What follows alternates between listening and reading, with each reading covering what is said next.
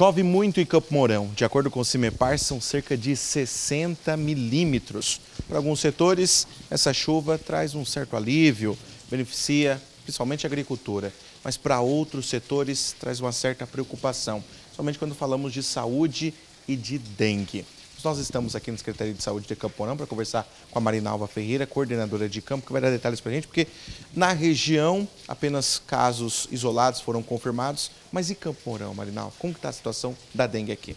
Então, Laudelino, como todo mundo sabe, em 2022 agora nós tivemos, falando em ano mesmo, nós tivemos mais de 1.700 casos de dengue, né? Comparado isso ao ciclo epidemiológico da dengue, que começou agora em agosto de 2022, nós estamos zerados em casos de dengue. Nós conseguimos sair de uma epidemia e conseguimos equilibrar os números e zeramos totalmente os casos de dengue. Uh, o que está acontecendo, né, Laudelino? Mês passado, agora, mês de, de é, setembro, nós tivemos 16 dias de chuva. E agora, com a entrada da primavera, nós estamos aí estamos tendo aí bastante chuva, pancadas e, e, e muita água mesmo. Então, os agentes de endemias não estão conseguindo ser efetivo em campo. Né? De maneira que, quando para essa chuva, a tendência é que possa ter foco de mosquito nessa quantidade de água que fica parada. Né? Mas, no momento, estamos com zero casos de dengue e temos aí, na, regi na região Campo Mourão, é, alguns casos isolados. Né? É, se eu não me engano, Goerê tem um caso.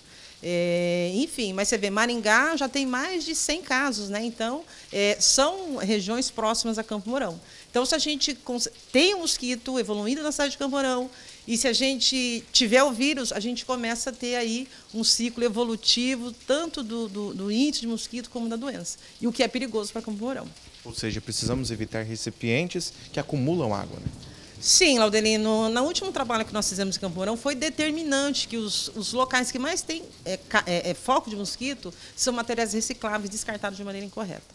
Então, nós precisamos aprender a fazer o descarte de lixo de maneira correta. Né? Então, se a gente evita lixo exposto, evita água parada, a gente evita o mosquito e, consequentemente, evitamos a doença.